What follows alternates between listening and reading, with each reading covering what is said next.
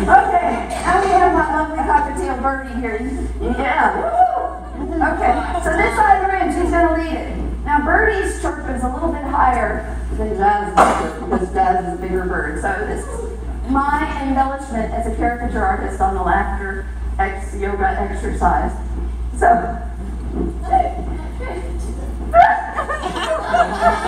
so I want you to very high voice, like a little bird, laugh. Try it.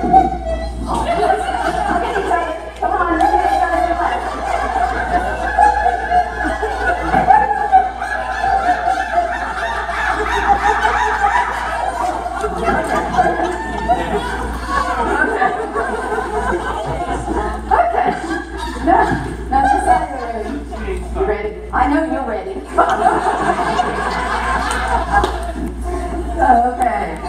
The deep, hearty jazz bird laugh.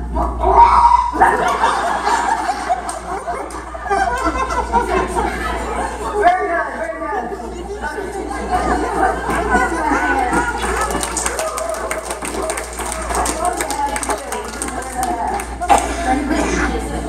And look pretty. Humor and laughter have been found to significantly increase spontaneous lymphocyte blastogenesis. a natural killer of cell activity, as well as stimulate immunoglobulin A, which is helpful in combating respiratory infections. So if you laugh, guess what? You help keep yourself from getting pneumonia. So you help, you know, the pain management. Humor helps with pain management. It does so by increasing pain tolerance levels and by distraction. Oh yeah, I am an excellent distractor. You ever notice that? You know. Well, I'm going to leave you with a final story. Uh, So laugh, let it go. If you're angry or upset, let it go. That's L. A is attitude. Attitude are the crayons that color our world. You, only you, can laugh. And how do you build your fun zone? You take risks. Silly, an old English, came from an old English word that meant healthy, blessed, and prosperous. So I encourage you to be silly. Run up to the, well, walk up or waddle up to the automatic door. automatic door at Kroger and say, here, let me get that for you.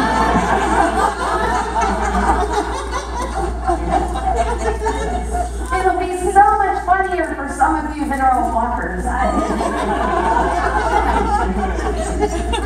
And can you believe at the humor conference, I took a session on, it's what's called crip humor, and I didn't know what that was. Crip humor. Uh, that's when negative terminology used against cripples or you're retard or something. That's, you know, inappropriate humor. But if you're in group, if you, will know somebody that has a disease or you're with your caretaker, if there's already a relationship, that is, that can be a healthy humor and outlet. Because humor will let you get rid of your anger. It's hard to stay mad at somebody that you're laughing at. With, with, with. Did I tell you it was my first time talking? With that drawing? So, G, G, go do it. Find out what makes you laugh and do it. You don't have to be crazy and silly like me. It helps.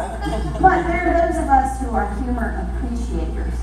Okay, you, you, you know, put yourself with people that you can want to be silly so that we look better.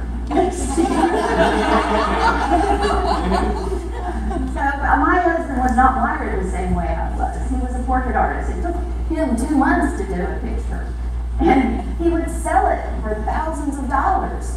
So I'd say, Steve, draw faster, we'll be richer. And he'd say, draw better.